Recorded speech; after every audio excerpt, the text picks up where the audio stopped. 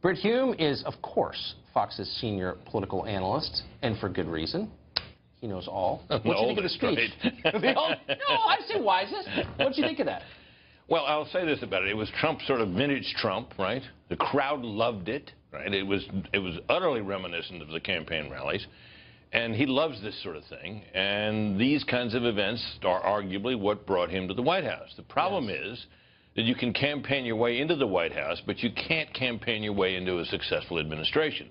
So I have no objection to his going out and having these rallies, and, and perhaps he can find a way to have them in places where, you know, as West Virginia might have, where he might have gotten a, a, a favorable vote from Shelley Moore Capito, senator from West Virginia, by appearing with her and the rest of it.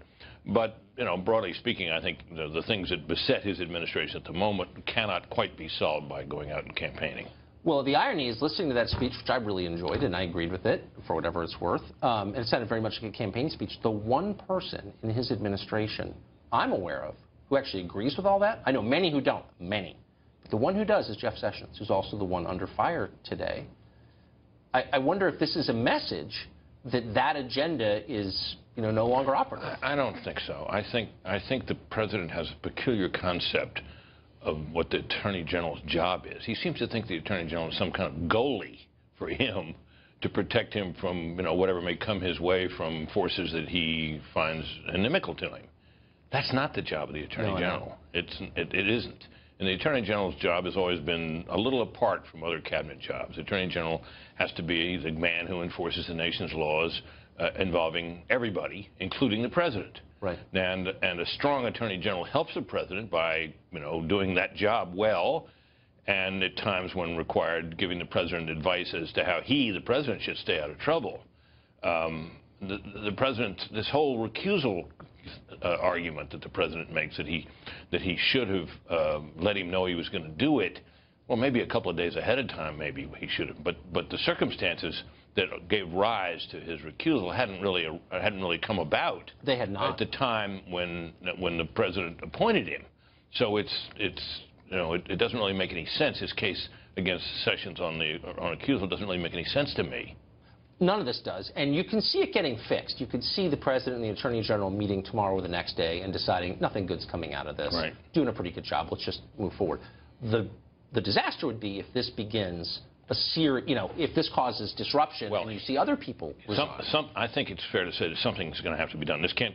The attorney general may stay in office and dare the president to fire him, but no attorney general or any other cabinet officer can survive for very long when he clearly does not have the confidence of the president. So Right. if they don't patch this up, Sessions will either sooner or later be gone. And then there begins a whole process that you discussed with your guests earlier about who he could ever get to replace him under these circumstances. And then the question arises whether, you know, others in the administration who may be on the outs at the moment may choose not to stay. They may find Trump, as this episode with Sessions may illustrate to them, an impossible person to work for. That's a very dangerous situation. So we're hearing that Rex Tillerson, he- who has been out today anyway. He's down in Texas apparently taking a couple of days Right, he's coming back tomorrow. Right. Um, so clearly, I think that's designed as a sign to suggest I'm not going anywhere. Well, yeah, but you know we don't know, and you know the, the one thing you have to be careful with it with this sort of speculation is that there have been so many people in the White House in particular who've been reported to be on the way out for so Yeah. long, and the only one in the White House who's left is Sean Spicer, and he apparently resigned, right, in the shakeup. Um, but the president seems to think that, that the essence of serving him in the cabinet and in the White House is to be simply personally loyal to him. That isn't all there is to it. I think you have to be, people have to be loyal to the president. That's that, but but the Right. best way to do that is not simply to, to indulge his every whim and mood. No, it's to make sure the things that he ran on, that people voted for, Right. that ordinary people wanted to happen, Right. happen. Yeah, to to support his agenda and try to advance it. and it. not subvert it. So when you know other cabinet level people stand up and say we're bringing more refugees in, really, I don't remember anybody voting for Trump for that reason. No, I agree. Brit, thank you very You much. bet.